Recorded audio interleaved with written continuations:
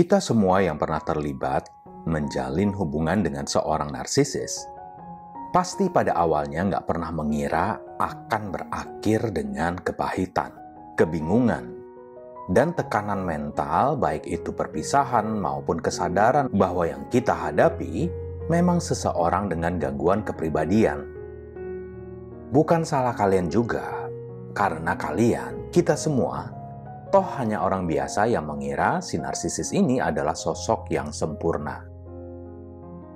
Mereka membalut semuanya begitu rapih, sehingga sangat sulit mendeteksi adanya gangguan ini. Mereka menghujani kalian dengan bom cinta, meniru perilaku kalian sehingga kalian merasa kayak ketemu belahan jiwa. Semuanya klop dan cocok. Pokoknya semua hal yang indah dan kalian impikan akhirnya hadir di depan kalian. Bahkan psikolog pun bisa terkecoh, hanyut ke dalam buayan hubungan bersama seorang narsisis. Lalu ada nggak sih jurus mujarab agar narsisis itu pergi menjauh dari kita? Simak selengkapnya di episode ini.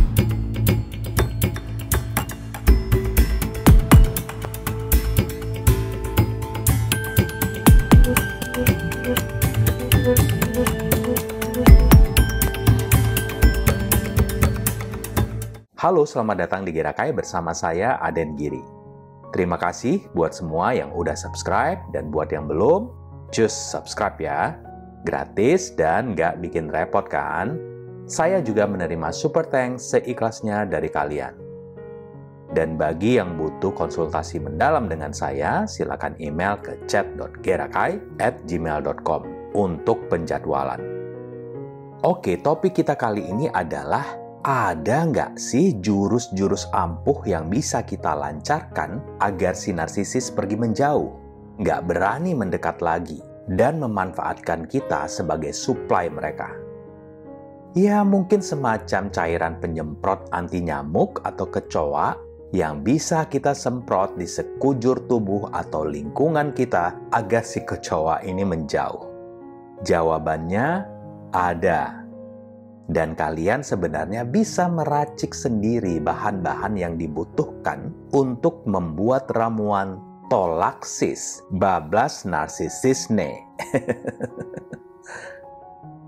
Hal mendasar yang perlu kalian tahu untuk meracik pembasmi narsisis atau repellent ini adalah narsisis itu tertarik pada rasa insecure minder, nggak pede, nggak tegas, nggak aman, atau nggak nyaman dari kalian.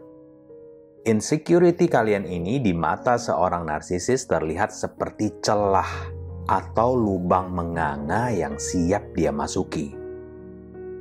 Dia akan merangsek masuk, mencoba menawarkan apa pun itu ke kalian untuk mengisi celah atau lubang tadi. Terus ada yang bilang, Yo wes tondo, tampil lelek wae. Karena narsisis suka sama orang cantik dan ganteng. Ngomongin ini jadi ingat ada di catatan sejarah kalau di Thailand beberapa abad yang lalu setelah kejatuhan Ayutthaya, perempuannya sengaja dipotong cepak rambutnya didandanin kayak laki biar nggak jadi korban perkosaan. Atau di suku Kodi Sumba, Nusa Tenggara Timur, di mana perempuan ditato tangan dan kakinya untuk keperluan yang sama. Ya, selain memang berkaitan dengan kepercayaan agama Merapu di sana. Nah, katanya dulu zaman penjajahan Jepang ini juga membantu mencegah para wanita menjadi korban kebiadaban tentara Jepang. Lalu apakah untuk mencegah dipepeti narsisis kita juga jangan berpenampilan menarik gitu? Well, orang mengubah penampilan menjadi lebih menarik memang didasari oleh rasa insecure. Ada mindernya sedikit dan lain-lain ya. Terlepas memang ada yang pengen terlihat lebih presentable, lebih proporsional, alasan fisik, medis, ingin terlihat bugar atau sehat. Jadi jangan salah juga, insecurity sebenarnya bisa saja punya outcome yang bagus. Dan nggak masalah sebenarnya jika orang-orang yang punya insecurity lalu berusaha mengubahnya juga punya sedikit kecenderungan narsisistik yang masih dalam dosis wajar. Semua kita punya kok sebenarnya. Siapa sih yang nggak pengen kelihatan kece, ya kan? Atau misalnya lagi, katanya jangan terlalu baik dan berempati. Nanti akan dimanfaatin empati kamu untuk keuntungan si narsisis. Atau kalian kelewat baik sama semua orang karena pengen banget diterima dan dicintai. Dan banyak lagi hal-hal lainnya. Yang ujung-ujungnya malah bikin kalian bertanya, Heis, Kok banyak ciri narsisistik juga ya di aku? Tenang, selama kalian masih punya kegelisahan kalau kalian itu bisa saja bersalah, merasa udah berbuat buruk sama orang, lalu menyesal, ya kalian nggak masuk kategori narsisistik. Kemudian narsisis itu akan kewalahan kalau mereka ketemu orang yang kuat, sehat, autentik, dan percaya diri. Jadi memang tips paling jitu itu ya kalian harus berani, mau dan tanpa ragu mempreteli celah atau lubang-lubang menganga yang ada di diri kalian. Caranya gimana? Ya, lihat dengan teliti diri kalian sendiri. Bagaimana kesehatan kalian, kesejahteraan, persahabatan, keluarga, tujuan hidup, dan lain-lain. Ada nggak sih celah yang bocor atau lubang menganga di sana? mengapa hal itu terjadi. Kalau udah ketemu, kalian juga harus tahu gimana caranya menyumpal atau menambal celah atau lubang itu dengan apa pun yang kalian pikir menjadi penyebabnya. Waduh, mikirin gimana caranya tulang belulang gak kegeser sama orang-orang yang berjibaku di kereta komuter lain setiap pergi dan pulang kerja aja, repotnya minta ampun. Konon lagi diminta nutup celah atau lubang emosional di diri sendiri. ya, pilihan ada di kalian. Ini kan juga bisa dilakukan lewat bimbingan seorang profesional lubang atau celah emosional kalian tadi misalnya kurang atau nggak ada kasih sayang dari orang tua, pembulian di masa kecil dulu, nggak ada penerimaan dari teman-teman di SMA, cinta pertama yang menyakitkan, dan lain sebagainya. Kalau si celah atau lubang ini udah kalian sumpal, udah kalian tambal, ketika si narsisis datang, dia nggak bisa nawarin apa-apa lagi ke kalian.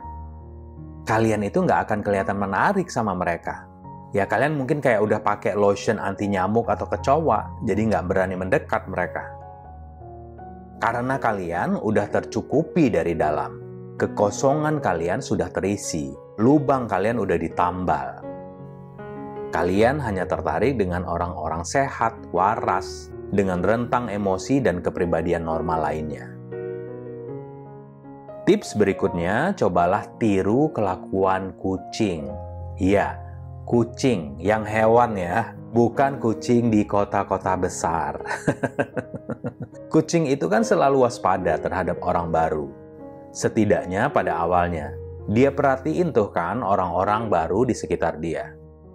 Kucing akan ngerawat, akan memprioritaskan dirinya lebih dulu, dan baru ke yang lain. Itu pun kalau emang dia mau. Bahkan kucing yang suka diunyel-unyel pun, kadel, akan menjauh kalau emang dia ngerasa nggak lagi pengen dihujani unyelan, perhatian, atau disayang. Dan dia nggak akan merasa bersalah sama sekali, melengos aja gitu pergi. Dan ingat, ini bukan hal buruk ya.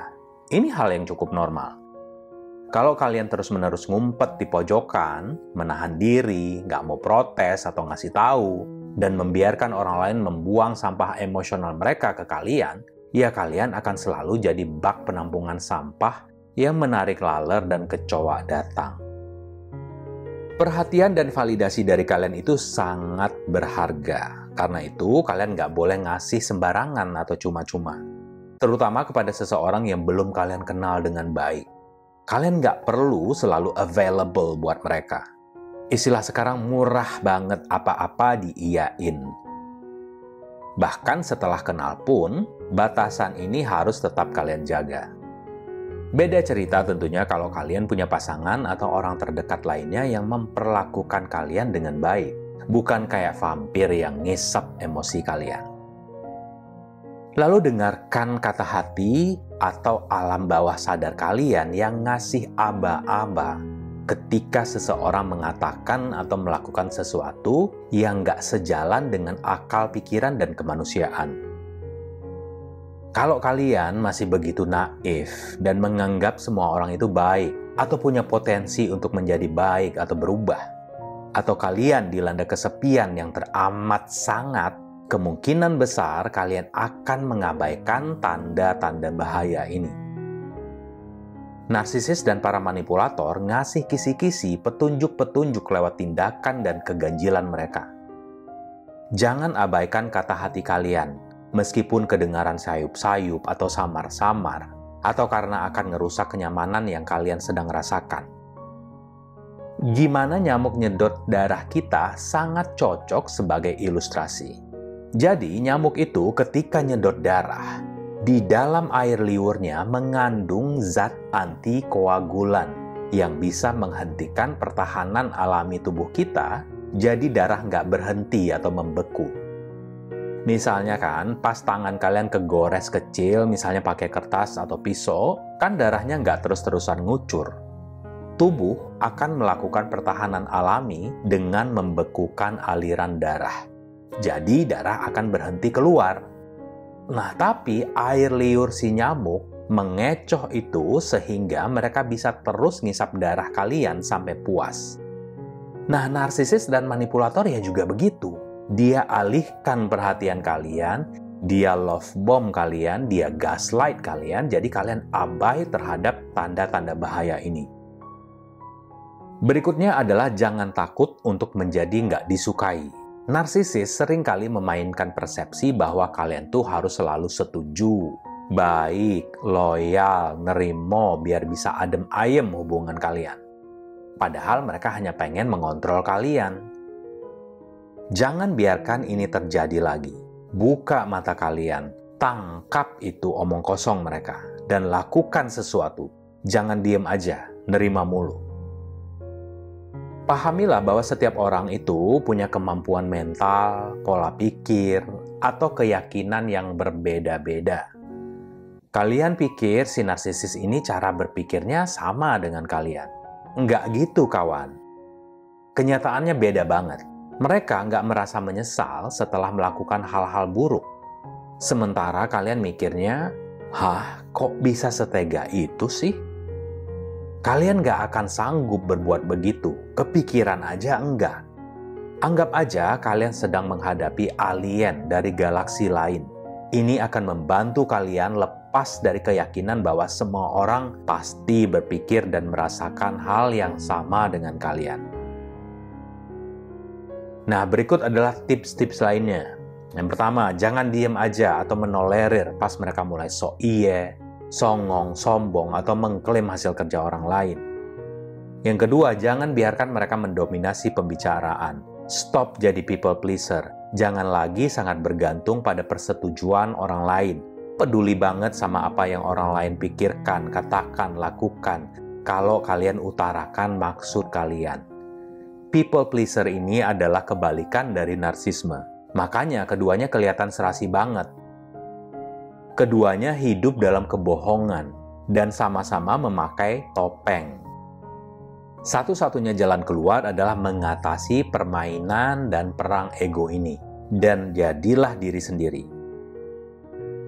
Ngomong aja apa yang kalian pikirkan, dengan sopan ya tentunya, apa yang sebenarnya kalian rasakan, apa yang sebenarnya kalian mau atau nggak mau, dan yakin sama diri kalian setiap saat. Yang ketiga, kalau mata si narsisis mulai lirak-lirik sana-sini ketika kalian sedang ngobrol, nggak perhatian, pura-pura nggak perhatian, jangan diam dan terima aja. Pergi aja dari situ biar dia melongo. Keempat, ingat bahwa narsisis itu butuh audiens. Penonton dan pendengar yang setia, yang cuma bisa ngangguk-ngangguk setuju, nggak pernah ngebantah atau ngekritik. Jadi stop jadi audiens mereka sebagai pasangan mereka, kalian udah terlalu lama dengerin semua omong kosong mereka. Dan tetap aja diam, senyum. Ini bukan lagi masalah sopan atau nggak sopan ya. Kalian justru bikin mereka makin menjadi. Kalian udah tahu, tapi tetap pengen nyenengin mereka. Yang terakhir kelima, pertanyakan fakta atau logika dari cerita atau pernyataan mereka dan ragukan kehebatan mereka. Nah, ini akan bikin mereka jengah dan menghindari kalian. Dan yang pasti, kesadaran adalah kuncinya. Kalian harus sadar apa itu narsisisme. Pelajari dan selami cara kerja NPD, perilaku, taktik, dan pola yang menjadi ciri kepribadian mereka.